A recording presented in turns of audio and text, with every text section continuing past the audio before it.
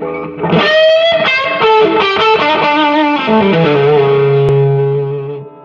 us 32 bars of some old blues that you feel like would be appropriate to this. Just play. I'm gonna turn it up.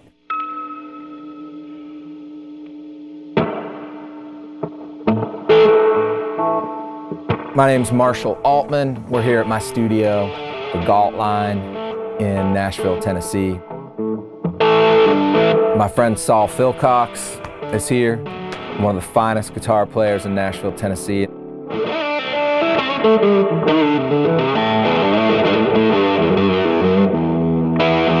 And we're here today to talk about some of the best gear that I have, uh, Analog Outfitters, the Sarge, and the Scanner.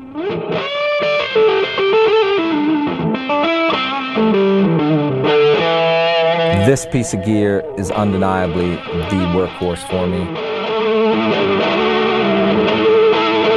It's been on every single record I've made since I've had it, um, even some of the acoustic records, because what I'll do is I'll reamp the acoustic signal through this and bury it in the mix to sort of give a little bit more color. It's on the Frankie Ballard record, uh, which was cut in uh, Paso, Texas. Overdubs were done here. It's on Eric Paslay. It's all over the Will Hoge record. I mean, ha there hasn't been a record I've made since I've had it that it has not been on in a big way.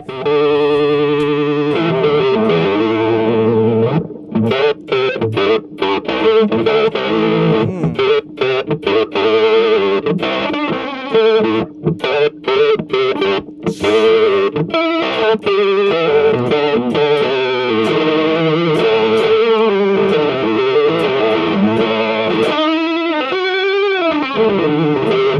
right, so dude, how cool is that? Right? So like you don't hear that and think vibrato. You hear that and you think awesome.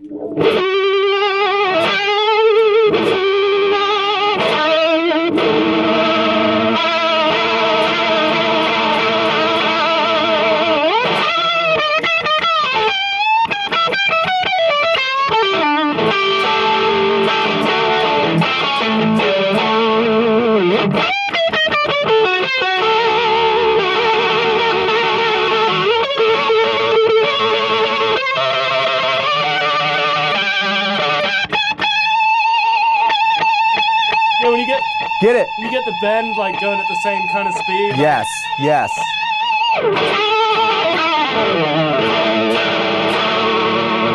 Oh, how good is that?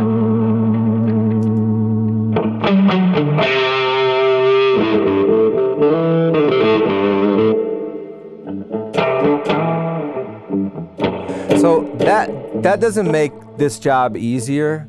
It just makes this job way more fun. Do you know what I mean? Like you know, we make music all day, man. And to be able to dig into something that's that fresh. You know, when I'm when I, honestly when I'm making records, like I want I want Sol to come in and play and leave and be like, man, I had the best friggin' day today. I had so much fun playing today. And you know, gear like this just makes it that much more possible. So, Analog Outfitters, I got nothing to say except if you don't have it, you should get it.